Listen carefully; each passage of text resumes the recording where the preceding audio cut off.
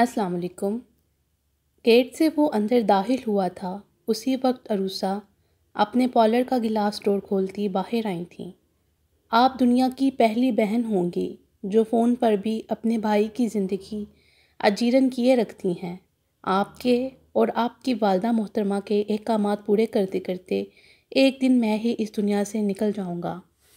वो शायद पहले ही किसी बात पर गुस्से में था जबकि इसके बरसने पर अरूसा की मुस्कुराहट गायब हो गई थी। एक तो जान छुड़वा कर भाग गया परदेस। अब सबने मुझे फुटबॉल बना लिया है। कभी हँसी खुशी बहन के पास मत आना। इतनी बार फ़ोन करने पर अब आए हो, मगर दिमाग अरश मौला पर पहुँचा हुआ है। अरूसा ने उसे गड़का था। अब आपके ताने सुनने का वक्त नहीं है मेरे पास। क्या काम है जल्दी बताएँ। वो उखड़े अंदाज में ही बोला था। कोई काम नहीं है। जाओ जहाँ जाना है। यहाँ वक्त बर्बाद मत करो। अरूसा गुस्से में बोलती, वापस पलट गई थी। काम तो बता दें, वो जिद छुआ था, मगर अरूसा नहीं रुकी थी। जलाकर वापस पलटते हुए उसने सीढ़ियों के करीब ही फ़ायज़ा और फलक को देखा था, जो इसकी जानब भागे आ रहे थे। अब उस्मान का फ़ौरन जाना मुश्किल था। इन दोनों को बाजुओं में दबाए, वो सीढ़ियाँ तय करता ऊपर आ गया था। शोर की आवाज़ पर बेला सराय से किचन से बाहर निकली थी। बच्चों को छोड़कर वो इसकी सिमत आ गया था। क्यों बुलाया था आप ही ने? इसके सवाल पर बेला ने एक पल को रुक कर इसके तने हुए तासरात को देखा था। अभी तक नाराज़ हो, वो उतरे चेहरे के साथ बोली थी, काम की बात करो, ख्वाम खा के ड्रामे ना करो मेरे सामने। वो बिगड़े लहजे में बोला था, यकदम से अजनबी बनकर फासले पर मत चले जाया करो उस्मान, मेरा दम घुटने लगता है। एक दिन भी तुम्हारी आवाज़ सुने बगैर मेरे लिए जीना मुश्किल हो जाता है। और तुम इतने इतने दिन तक सुर्ख चेहरे के साथ वो लड़सते लहजे में बात मुकम्मल न कर सकी थी। चंद लम्हों तक उस्मान वहीं रुका, उसे किचन में गायब होता देखता रहा था। हर बार की तरह आज भी वो अपने आंसुओं के हथियारों से उसे जेर कर गई थी। किचन में दाखिल होकर उसने बैला को देखा था, जो हार्ट पॉट चॉपर में रख रही थी।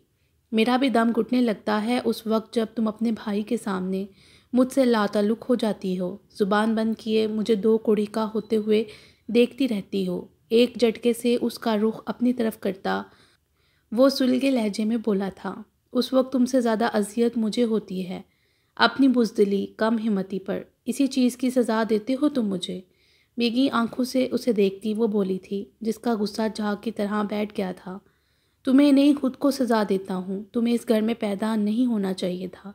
या फिर मेरी बहन को इस घर में आकर आबाद नहीं होना चाहिए था। सिर्फ़ आप ही की वजह से मैं इस शख्स को बर्दाश्त करता हूँ, वरना जनपते लहजे में वो जुमला अधूरा छोड़ गया था। हर वक्त मेरे खौफ में इजाफ़ा होता जा रहा है। वो कभी मेरे लिए तुम्हें कबूल नहीं करेंगे।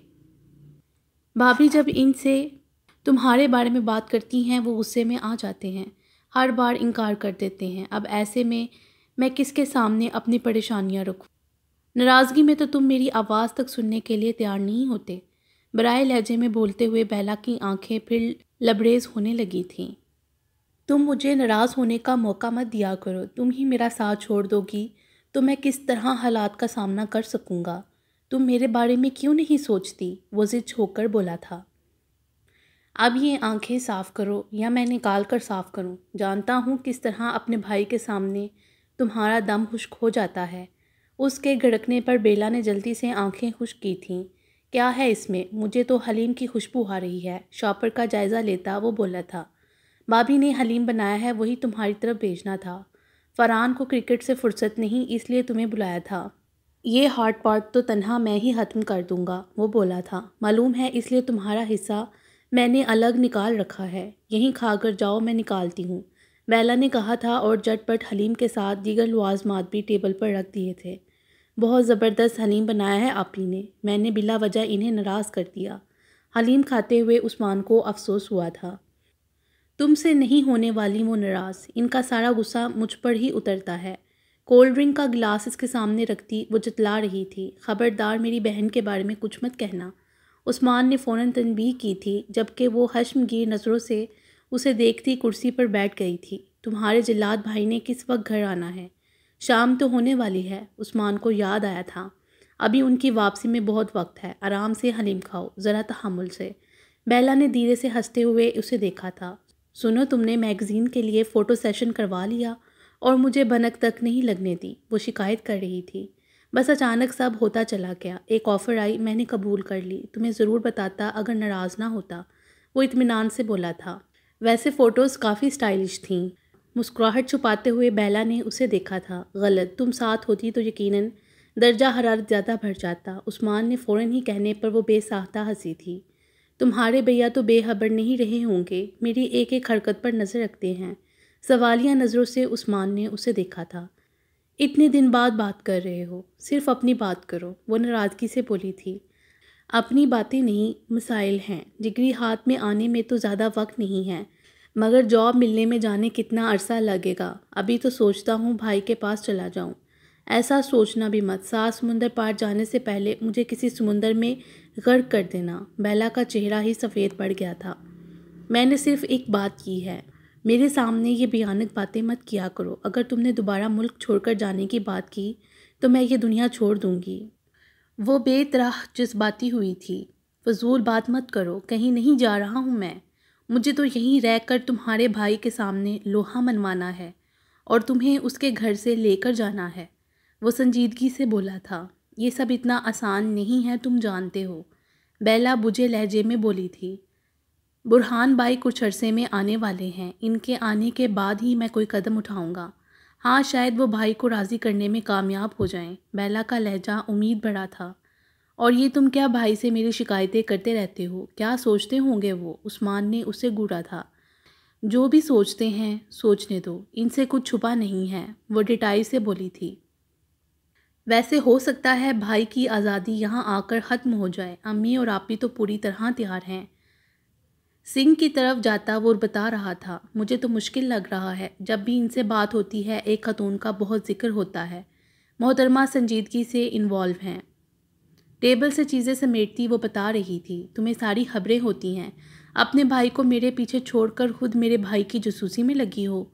बोलते हुए वो करीब आया था और अगले ही पल उसके दुबट्टे के पल्लू से हाथ खुश करने की कोशिश कर दिए थे। ये क्या हरकत है, बदतमीज़ इंसान? वो चीही थी। तुम तमीज़ सिखाने आ जाओ मेरी ज़िंदगी में। अपने भाई से इजाज़त लेकर। उसके बाल खींचता, वो सराय से दूर हुआ था और अगले ही पल शापर उठाता, किचन से बाहर था। मान बात सुनो। भाभी तो अहमद अंकल से हस्पताल में ही मिल आई थी, मगर मैं नहीं जा सकी। कल तुम मुझे ले जाओगे? हुरमन के घर। इसके पीछे आती बैला ने आवाज़ लगाई थी। मेरा कोई भरोसा नहीं, तुम फरहान के साथ चली जाना। रुके बगैर वो बोला था और तेज़ियों से सीढ़ियाँ उतरता, यकदम रुका था। ऊपर ही आते फारूक ने बस एक निगाह इस पर डाली थी। और दूसरी निगाह इनकी ऊपर रुकी बैला पर टिक गई थी, जो वहीं फ्रीज़ हो चुकी थी। उस्मान के सलाम का जवाब इन्होंने सर के इशारे से दिया था, जबकि वो दोबारा उसी तेज़ी से इनके बराबर से गुजरा आगे बढ़ चुका था। क्यों आया था ये? कड़ी नज़रों से इन्होंने बैला को देखा था। भाभी ने बुलाया था, हलीम घर भेजना था। इनके चमकते जूतों पर नज़र जमाए वो बमुश्किल बोली थी, अरूसा कहाँ है?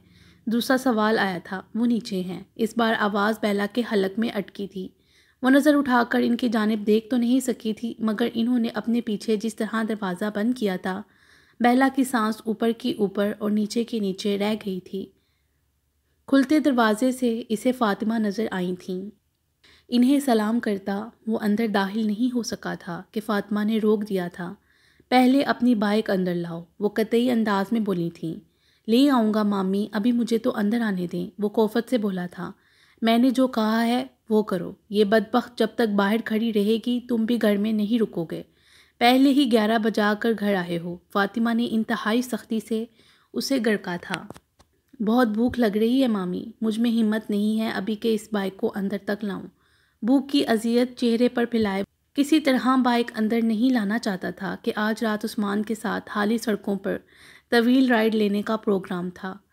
हर वीकेंड पर इन दोनों की नाइट राइडिंग होती थी। तुम ऐसे नहीं मानोगे, मुझे हुरमन को बुलाना ही पड़ेगा। तुम उसी की ज़ुबान समझते हो। फातिमा की धमकी ने इसे सीधा कर दिया था। इसे क्यों दरमियान में ला रही हैं? मान तो रहा हूँ आपकी बात। जलाए अंदाज में बोलता, वो बाइक की तरफ़ पलट गया था। मुस्कुराहट छुपाते हुए फातिमा गेट के सामने से हटती, इसके नाराज़ तासुरात को ही देख रही थी। तुम पहले खाना खा लो, फिर अपने मामू के पास चले जाना। तुम्हें पूछ रहे थे। फातिमा की हदायत पर वो इनकी तरफ़ मतवजा हुआ था। हैरियत है। हाँ वो बस तुमसे कुछ बात करना चाहते हैं। फातिमा के मुबहम से लहजे ने उसे हैरान किया था। फिर मैं खाना बाद में खाऊँगा, पहले उनसे बात करूँगा। बोलता हुआ वो बरामदे की सीमत बढ़ गया था। किताब बंद करके एक तरफ़ रखते, वो दोबारा उसकी तरफ़ मतवजा थे, जो बेड के किनारे ही सामने बैठ रहा था। आज तुम काफ़ी लेट हो गए हो। ऐसी सूरत हाल में घर आने तक हर पाँच मिनट बाद अपनी मामी को फ़ोन करते रहा करो। वरना ये अपने साथ साथ सबको हुलाती रहती है। मुस्कुराते हुए उन्होंने फातिमा को भी देखा था, जो कुछ फासले पर कुर्सी पर बैठ रही थी। आपने कह दिया, और उसने कर लिया फ़ोन। आप खुद देखे, सुबह से जो निकला है तो अब अपना चेहरा दिखा रहा है। फातिमा ने नाराज़गी से कहा था, मैं एक घंटा तो लेट हुआ हूँ, मामी। अकेडमी में एक्स्ट्रा क्लासेस लेनी पड़ती थी। कहीं आपको ये तो नहीं लग रहा कि मैं डेटिंग पर जाने लगा हूँ? आरिश ने मुस्कुराती नज़रों से उन्हें देखा था। अब ये कौन सी नई जॉब निकल आई है? फातिमा के हैरान सवालिया लहजे पर वो बेसाख्ता हंसा था। फातिमा, तुम्हें इस लड़के से ज़्यादा मासूम कोई नज़र नहीं आता, मगर मैं तुम्हें लिख कर देने के लिए तैयार हूँ कि यह लड़का तुम्हारी बेटी से भी चार हाथ आगे है, अहमद हुसैन ने मुस्कुराते हुए कहा था। मामी, इस वक्त आप मुझे इतनी हसीन लग रही हैं कि मेरी नज़र ही आपको ना लग जाए। अभी जाकर नज़र उतरवाएँ। अपनी जाड़ फूंक करने वाली बेटी से आरिश ने मज़ीद हँसते हुए कहा था इसके सामने ही सब कहो बताएगी तुम्हें अच्छी तरह से। और हज़ार बार कहा है तुमसे कि मेरे सामने ज़्यादा अंग्रेज़ी मत बोला करो। फातिमा ने उसे घड़का था। मेरे फरिश्तों की तोबा, ये देखे मैंने अपने कान पकड़ लिए हैं। आरिश ने वाकई अपने कान पकड़े थे। आरिश, मेरा ख्याल है कि तुम्हें जॉब या अकेडमी में से एक चीज़ को छोड़ देना चाहिए, अहमद हुसैन बोले थे। मामू जान, आप जानते हैं कि आप सबकी दुआओं से वक्त से पहले मुझे इतनी अच्छी जॉब मिल गई है। इसमें आगे बढ़ने के मौके बहुत ज़्यादा हैं। सो मैं जॉब छोड़कर नाशुक्री नहीं करना चाहता, जबकि मेरे हाथ में अभी डिग्री नहीं है। और जहाँ तक बात है अकेडमी की तो मैं वहाँ वहाँ एक्सपीरियंस के लिए अपना वक्त दे रहा हूँ। क्योंकि आपको भी पता है कि मैं अपनी अकेडमी शुरू करना चाहता हूँ। संजीदगी से तफसील बता रहा था। तो कब तक शुरुआत कर रहे हो? अहमद हुसैन ने पूछा था। बस एग्ज़ाम्स के फ़ौर बाद, वो बोला था। उस्मान मेरे साथ होगा, मज़ीद कुछ फ्रेंड्स हैं मेरे जो इस काम में मेरे साथ होंगे। फिर तो तुम रात में भी घर आकर शक्ल नहीं दिखाओगे। फातिमा बोल उठी थी और फिर शोहर को देखा था। आपको जो बात करनी है वो कर लें पहले। इसने अभी खाना भी नहीं खाया है। क्या बात करनी थी आपको? मैं तो पूछना ही भूल गया। आरिश मुकम्मल तौर पर उनकी तरफ़ मतवजा हो गया था। आज उस्मान की वालदा आई थी। बता रही थी कि बुरहान आ रहा है। इसके वापस आने से पहले वो इसकी शादी का इरादा रखती हैं, अहमद हुसैन बोले थे। मामी से मुझे मालूम हुआ था, मगर इसमें ऐसी क्या बात है? कुछ उलझे अंदाज में इसने फ़ातिमा को देखा था। बातों बातों में वो हुरमन के लिए इरादा ज़ाहिर कर गई हैं। फ़ातिमा के इंकशाफ पर वो दंग नज़रों से उन्हें देखता ही रह गया था। इन बातों से इसे अंदाज़ा हुआ कि वो बाकायदा तौर पर अरूसा के साथ रिश्ता लेकर आएँगी। फ़ातिमा के मज़ीद कहने पर आरिश के तासुरात बिल्कुल स्पॉट हो गए थे। आप दोनों क्या सोच रहे हैं इस बारे में? रुकी सांसों के साथ इसने दोनों को ही देखा था। देखा जाए तो उस्मान के घर वालों से, हमारे ताल्लुकात उस वक्त ही से मज़बूत हैं जब हम इस शहर में आकर आबाद हुए थे। घर आँगन एक रहा है, बुरहान अच्छा लड़का है। दूर जाने के बावजूद वो हमसे इसी तरह रबते में हैं जिस तरह अपने घर वालों से। इस बारे में कुछ तो सोचना पड़ेगा। अहमद हुसैन के संजीदा लहजे पर वो खामोश नहीं रह सका था। इस बारे में सोचने से पहले आपको ये फ़ैसला करना पड़ेगा कि हुरमन के लिए आप किसी पर इतना भरोसा कर सकते हैं कि इसकी हकीकत सबके सामने खोल दें। इसके सवाल पर अहमद हुसैन ने एक नज़र फातिमा को देखा था। आरिश किसी न किसी पर भरोसा तो करना ही पड़ेगा। आहिर हुरमन की शादी कहीं ना कहीं तो करनी है। फिर हम इन पर भरोसा क्यों ना करें जो हमारे करीब हैं? फातिमा मुतफिक नहीं हुई थी। आप इतने यकीन से कैसे कह सकती हैं कि हुरमन के बारे में सब कुछ जान कर भी उस्मान के घर वाले कोई एतराज़ नहीं उठाएँगे? आरिश ने कहा था। क्योंकि बरसों से इनसे ताल्लुकदारी है, इतना अरसा काफ़ी है फैसला करने के लिए कि किस पर भरोसा करें, किस पर नहीं। कतई लहजे में बोलकर फातिमा ने अहमद हुसैन को देखा था। हम इनकार नहीं करेंगे, हमें यह रिश्ता कबूल करना है। मैं हुरमन को अपने घर में आबाद होता देखना चाहती हूँ। मामी, ये सब इतना आसान नहीं है। इस तरह जज्बात में आकर आप हुरमन का पर्दा किसी के सामने नहीं उठा सकती। वो शख्स चार साल से अमेरिका में ज़िंदगी गुजार रहा है और इस अरसे में बहुत कुछ बदल जाता है। आप सिर्फ़ शादी पर फोकस कर रहे हैं, ज़िंदगी हुरमन ने गुजारनी है।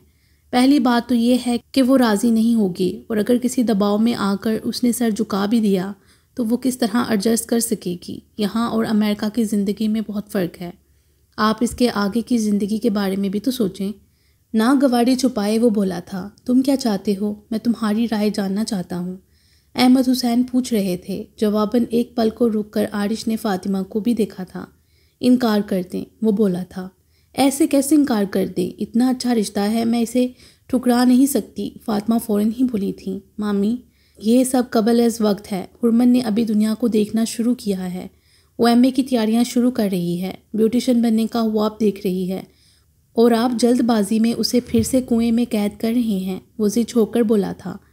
इसे जो करना है बाद में भी कर सकती है। मुझे यकीन है कि लुकमान भाई और अतिया हर सूरत हुरमन को कबूल करेंगे। फातमा किसी सूरत अपने मौक़ से हटने के लिए तैयार नहीं थी। मामी, इतनी तो किसी इंसान से वाबस्ता नहीं करनी चाहिए। आप इनकार करते, वरना फिर मुझे हुरमन से बात करनी पड़ेगी। वो नागवाड़ी से बोला था, तुम इससे कोई बात नहीं करोगे। हमें जो करना है कर लेंगे। इस मामले में तुम्हें कोई फैसला करने का इख्तियार नहीं। अभी इतने बड़े नहीं हुए हो तुम। फातिमा के डबटने वाले अंदाज पर आरिश ने अहमद हुसैन को देखा था।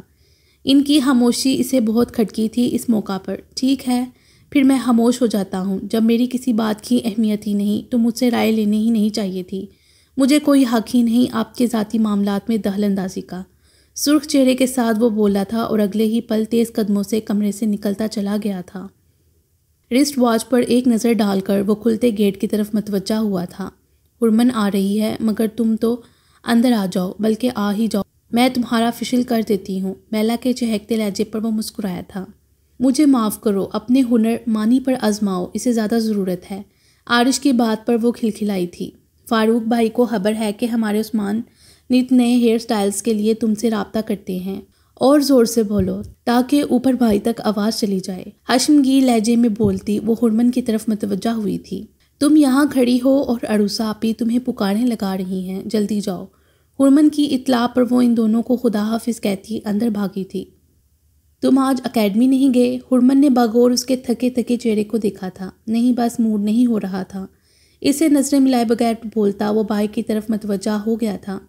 एक पल को तो दिल चाहा कि हुरमन को बता दे कि घर में क्या खिचड़ी पक रही है। इसके बाद वो यकीनन घर सर पर उठाएगी।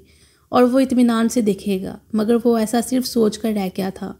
घर में दाखिल होकर हुरमन ने एक नज़र फातिमा को देखा, जो खामोशी से गेट खोलकर वापस बरामदे की तरफ़ चली गई थी, जबकि आरिश के तासरात भी स्पॉट ही थे।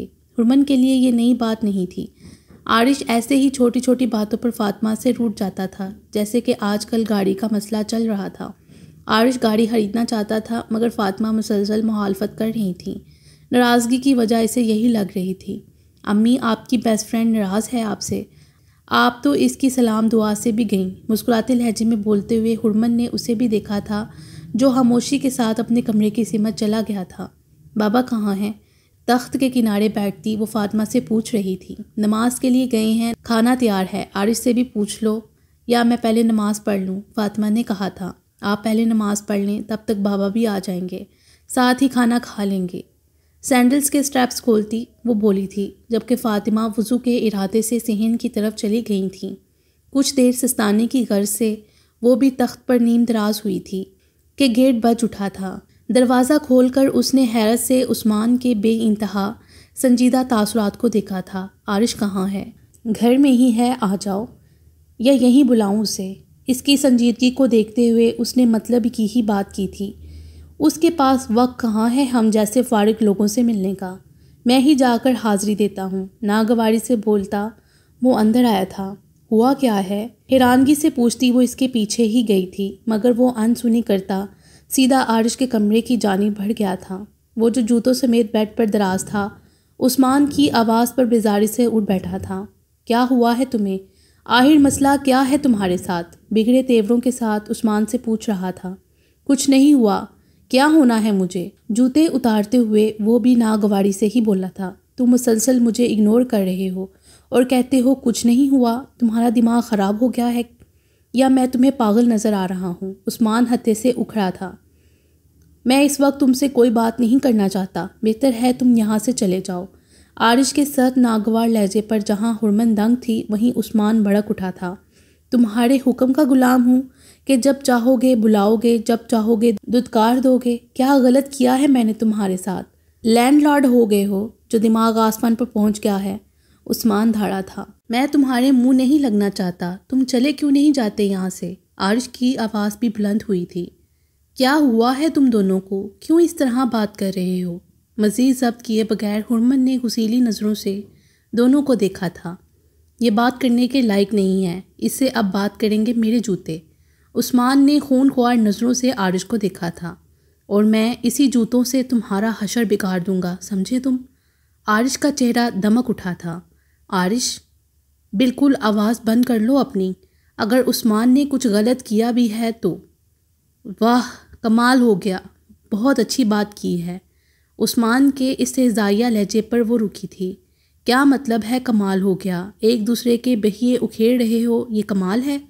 हुरमन ने भड़क कर उस्मान को देखा था। तुम्हें कैसे इल्हाम हो गया कि मैं ही गलत हूँ? तुम इसकी ज़ुबान नहीं देख रही हो, उसी की तरफदारी कर रही हो। मैं इसे बेज़त कर रहा हूँ या वो मुझे बेज़त कर रहा है? उस्मान का फ्यूज़ मुकम्मल उड़ चुका था। बात तो सुन लिया करो उस्मान, ज़रा सी बात बर्दाश्त नहीं होती तुमसे। क्यों इतने हाइपर हो रहे हो? हुरमन ने इसे गड़का था। मुझे अब कुछ नहीं सुनना। जो कुछ कहना सुनना है, इस बुजदिल इंसान को सुनाओ। उस्मान ने शोला बार नज़रों से आरिश को देखा था। बुजदिल किसे कह रहे हो तुम? मुझे बुजदिल कहा तुमने? आरिश भड़क कर इसकी तरफ़ बढ़ा था। जो इंसान सच बोल सके न सच कबूल कर सके, उसे बुजदिल नहीं तो और क्या कहूँ? तुम भी जानते हो कि तुम, उस्मान की बात अधूरी रह गई थी। आरिश के दोनसे पर वह बुरी तरह लड़खड़ाया था। आरिश, ये क्या कर रहे हो? तुम पागल हो गए हो। उर्मन ने होल कर उसे रोका था। तुम दरमियान में मत आओ, हुरमन का हार चटकता, वो जिस तरह उस पर गुराया था। एक पल के लिए तो वो हक दक रह गई थी। मगर अगले ही लम्हे पलट कर बाहर फातिमा को आवाज़ें देती भागी थी, जबकि आरिश दोबारा उस्मान की तरफ़ मतवजा हो गया था। मैं अगर बुजदिल था भी तो अब नहीं रहा हूँ, समझे तुम? वो उस्मान पर भड़का था।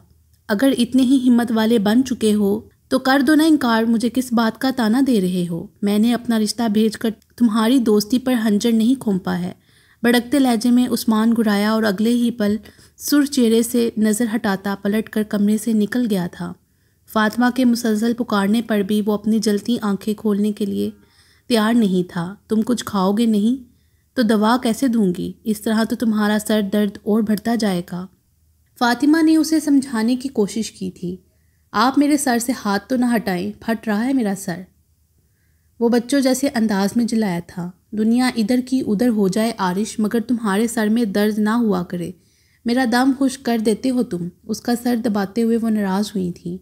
चलो अब उठ जाओ हुरमन ने नमाज़ पढ़ ली होगी। मैंने उसे कह दिया है कि दम कर देगी तो दर्द ख़त्म हो जाएगा। इस बार फातिमा ने ज़बरदस्ती उसका बाजू पकड़ के उठाया था। अब इतना बीमार भी नहीं हूँ, चला जाऊँगा खुद। अपना बाजू उनकी गिरफ्त से निकालते हुए आरुष को गालबन अपनी नाराज़गी याद आ गई थी। तुम चलो, मैं ये दूध दोबारा गर्म करके लाऊं। तुम्हारी ज़िद में ठंडा हो चुका है। फातमा इसके पीछे ही कमरे से निकली थी। दरवाजे पर दस्तक देखकर वो कमरे में दाखिल हुआ था। पहली नज़र उस पर गई थी जो जाए नमाज़ पर मौजूद दुआ मांगने में मसरूफ़ थी।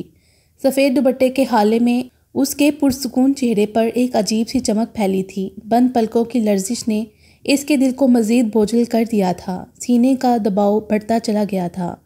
महमिली बेड पर गिरते हुए चेहरा तकिए में छुपा गया था। इसके पिछले हिस्से में लगती ज़रबें नाकबले बर्दाश्त थीं। हुरमन के फारिग होने तक फातमा इसके सहाने बैठी इसका सर दबाती रही थी। अम्मी ज़रा पूछें, ये ड्रग्स तो नहीं लेने लगा? बेड की तरफ़ आती वो नागवारी से भूली थी। सोच समझ कर बोला करो, हुरमन। फातमा ने उसे फ़ौरन डपटा था। आप क्या कह रही हैं? यही उम्र होती है नित नई लतें पालने की। इसकी मशकूक हरकतें ये शक पैदा कर रही हैं। मामी, मैं अभी इसी वक्त जहन्नम में चला जाऊँगा तकिए में चेहरा छुपाए, वो एहतजाजन बोला था। हुरमन, अब कोई फजूल बात मत करना, तुम देख रही हो इसकी कितनी तबीयत ख़राब है। फातिमा के सख्ती से टोकने पर वो बस सर झटक कर रह गई थी। अब तुम खामोशी से इसके सर पर दम करो, मैं गर्म दूध लाती हूँ। दवा खाएगा तो दर्द और बुखार कम होगा। इसे हदायत देखकर फातिमा कमरे से निकल गई थी। दूसरी जानब वो तकिए में ही चेहरा छुपाए। इसके करीब आने का मुंतज़र था, मगर हुरमन जाने कहाँ मसरूफ़ हो गई थी। फातिमा की पुकार इसे नीम गनूदगी से निकाल लाई थी।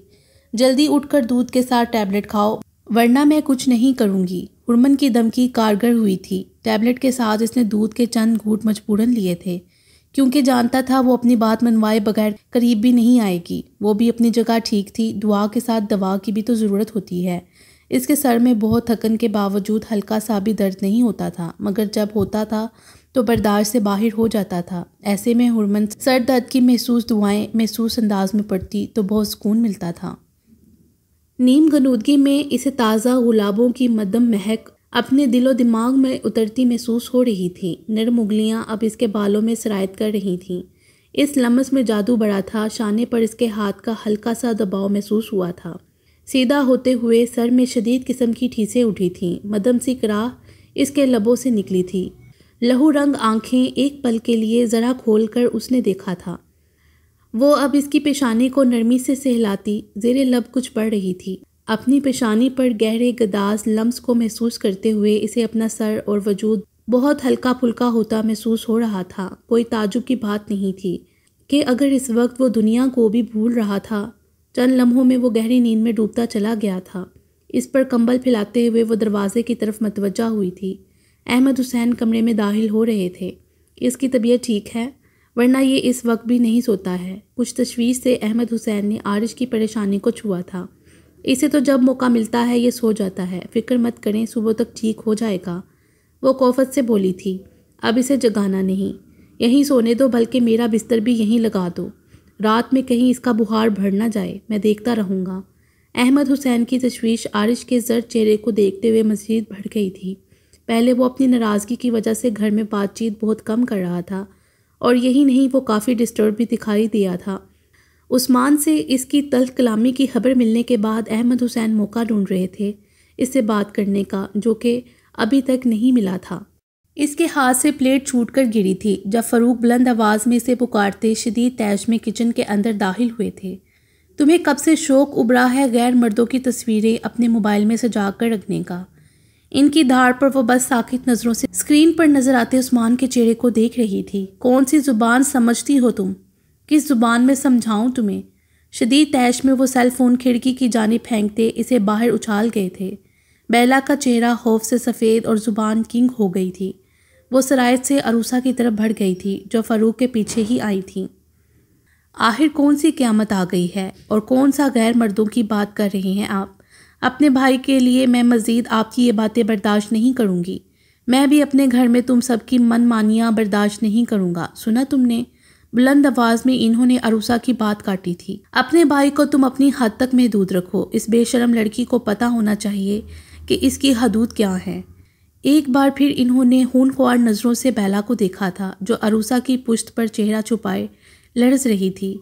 किस तरह बात कर रहे हैं आप? ये आपकी बहन है। ऐसा क्या कर दिया इसने जो आप इसे बेशरम कह रहे हैं? ऐसा क्या देख लिया है आपने? अरूसा को बेला की सिस्कियों ने गुस्से में भड़का दिया था। जो मैं देख रहा हूँ, वो तुम्हें नज़र नहीं आ सकता। ये सब तुम्हारी लापरवाही का नतीजा है। आँखें बंद करके तमाशा देखती रही हो तुम, वो मज़ीद गुस्से में भड़के थे। आप मुझ पर इल्ज़ाम लगा रहे हैं। कौन से तमाशे लगवा दिए हैं मैंने?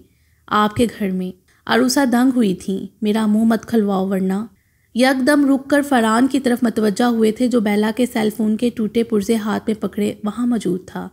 इसे अपनी ज़ुबान में समझा दो कि अगर ये इसी तरह मेरी आँखों में धूल झोंकने का खेल खेलती रही तो एक दिन अपनी जान से जाएगी। वो फिर अरूसा की तरफ़ मतवजा होते बढ़के थे। पापा, आनी को नहीं मालूम कि इनके सेल में मामू मामी की पिक्चर्स हैं। आनी का फ़ोन एक हफ़्ते से मेरे पास है। कल नानों के घर में मैंने ये तस्वीरें ली थीं। शदीद नाराज़गी से बाप को देखते हुए फरहान ने हकीकत बताई थी। तुम्हें कोई ज़रूरत नहीं थी ये सच बताने की। क्योंकि ये वही सोचेंगे जो ये सोचना चाहते हैं। सुलगती नज़रों से अरूसा ने उनके तने हुए तासरात को देखा था और अगले ही पल बेला का हाथ पकड़े इसे किचन से ले गई थी। आज पॉलर ऑफ़ था। मगर अरूसा ने उसे कॉल करके घर आने के लिए कहा था। फ़ोन पर वो बस यही बता सकी थी कि बेला की तबीयत ख़राब है। इसके बाद वो रह नहीं सकी थी। रोज़ाना अहमद हुसैन शॉप से दोपहर में वापस आते थे और हुरमन को अरूसा की तरफ़ छोड़कर दोबारा शॉप पर चले जाते थे। आज इन्हें भी पॉलर ऑफ़ होने का पता था। सो वो नहीं आए थे। आरिश के ये ऑफ़िस में वर्किंग आवर्स थे। इस वक्त उस्मान ही दस्तियाब हो सकता था। आरिश से जरब के बाद ये गनीमत ही था कि वो इसे साथ लेकर जाने के लिए आ गया था। या फिर बेला की तबीयत की ख़राबी का सुनकर वो इनकार नहीं कर सका था। उस्मान के हमरा जब वह रूसा के घर पहुँची तो इनके तासरात ने ही मामले की संगीनी का एहसास दिला दिया था। उस्मान को इनके पास छोड़कर वो सीधा बैला के कमरे की तरफ़ चली आई थी। बैला के सुस्त हुए चेहरे और सूजी सुर्ख आँखों को देखकर वो दंग सी रह गई थी। बैला, क्या हुआ है तुम्हें? क्यों खाना पीना छोड़ रखा है तुमने? हुरमन का ये पूछना क्यामत हो गया था। इसके शाने से लगती वो इस तरह क्लस क्लस कर रोई थी कि हुरमन के हाथ पैर फूल गए थे। इसे खामोश करवाने की कोशिश करते हुए वो दरवाजे की सिमत मतवजा हुई थी। उस्मान के पीछे अरूसा भी कमरे में दाखिल हुई थी। जबकि उस्मान की वहाँ मौजूदगी ने बेला के आंसुओं में मज़ीद इजाफा कर दिया था। आपके शोहर को मुझसे परहाश है तो मुझसे वो बात क्यों नहीं करते? बेला को क्यों तख्ता मश्क बना लिया है उन्होंने? क्यों इसे अजियत का निशाना बनाकर रखा हुआ है उन्होंने? उस्मान मुश्ताल अंदाज में अरूसा से पूछ रहा था, जो खामोश थी। सिर्फ़ आपकी वजह से लिहाज करना पड़ता है, वरना सबक सिखा दूँ उस शख्स को। किस शख्स को सबक सिखाओगे, किस शख्स के बारे में ये बकवास कर रहे हो? वो शख्स तुम्हारी बहन का शोहर है, उसके बच्चों का बाप है, उसकी इज़्ज़त नहीं कर सकते तो मुँह बंद रखो, वरना ज़ुबान खींच लूँगी तुम्हारी। आरूसा ने शदीद गुस्से में उस्मान को देखा था। उन्होंने मुझे कितनी इज़्ज़त दी है जो इनके लिए आप अब भी मुझसे इज़्ज़त की तवक्का रखती हैं? उस्मान भड़क कर बोला था, काम भी तो करो इज़्ज़त लेने वाले। सारी दुनिया में तुम्हें यही एक मिली थी और इसे तुम मिले थे। मेरी ज़िंदगी तो अजीरन कर दी। तुम सबने मिलकर, अरूसा बोली थी। ज़िंदगी तो मैं अजीरन कर दूँगा अगर इनकी वजह से बेला को कोई नुकसान पहुँचा। वो बुरी तरह खोल उठा था। कुछ नहीं होगा इस महारानी को। ये बस इसी तरह सारी ज़िंदगी मुझे भैया और महबूब के दरमियान पिसवाती रहेगी। अरूसा ने जिस तरह तिल मिलाकर बेला को देखा था, इसे कंधों से लगी हुरमन बमुश्किल अपनी मुस्कुराहट छुपा सकी थी। भाई के दो जुमले बर्दाश्त नहीं हुए, खाना पीना तक छोड़कर बैठी है। अरूसा मज़ीद बैला पर भड़की थी। भाई अपनी बहन को गैर मर्दों का ताना नहीं देते। छोटे बड़ों के सामने जलील नहीं करते। बैला रोते हुए ही चीखी थी। क्या कह रही है ये? बुरी तरह दंग होकर उस्मान ने अरूसा से तस्दीक चाही थी। जो इसकी जानब देख भी नहीं सकी थी। वो मेरा कोई लिहाज नहीं रखते। आप बर्दाश्त कर लें, मगर वो बहला के लिए इस हद तक चले गए, आपने कैसे बर्दाश्त कर लिया? उस्मान सुर चेहरे के साथ बोला था, हुरमन, मैं इसके लिए खाना निकाल रही हूँ, आके ले जाओ। ये खाती है तो ठीक है, वरना छोड़ दो इसे इसके हाल पर। उस्मान की बात सुनी, अनसुनी किए, वो हुरमन से मुहातिब होती कमरे से निकल गई थीं। उस्मान, तुम्हें आप ही की पोजीशन को समझना चाहिए। फारूक भाई इनके शोहर हैं। वो एक हद के अंदर रह कर ही तुम दोनों को सपोर्ट कर सकती हैं। वो एक हद के अंदर रह कर ही तुम दोनों को सपोर्ट कर सकती हैं। और तुम भी यकीनन नहीं चाहोगे कि इनके फ़रूक भाई से ताल्लुक ख़राब हों। हुरमन ने हल्की सी कोशिश की थी उस्मान को समझाने की। और तुम उठो, हाथ मुँह धोकर खाना खाओ मेरे सामने। जिसे आँसू दिखाने थे, वो देख चुका है, अब तुम ये रोना बंद करो। बेला को घड़कते हुए हुरमन ने उसे वॉशरूम तक छोड़ा था और फिर खाना लेने कमरे से निकल गई थी। वॉशरूम से बाहर आते हुए बेला ने इसके संजीदा चेहरे को देखा था और फिर मज़ीद इसके करीब आ गई थी। मुझे माफ़ कर दो। मेरी वजह से भाभी के साथ तुम भी डिस्टर्ब हो गए। नज़र झुकाए वो शर्मिंदा लहजे में बोली थी। दूसरी जानब, वो चंद लम्हों तक इसके चेहरे पर चमकती पानी की बूंदों को देख रहा था और फिर धीरे से इसका नम हाथ अपने हाथ में थाम लिया था। नज़र उठाने पर वो मजबूर हो गई थी, मगर इसकी सहर अंगेज़ आँखों में देखती। इसे ये नहीं बता सकी थी कि इसके हाथ की मज़बूत गिरफ्त कितनी ढार्स दे रही थी। वो एक ही पल में खुद को कितना महफूज तस्वुर करने लगी है।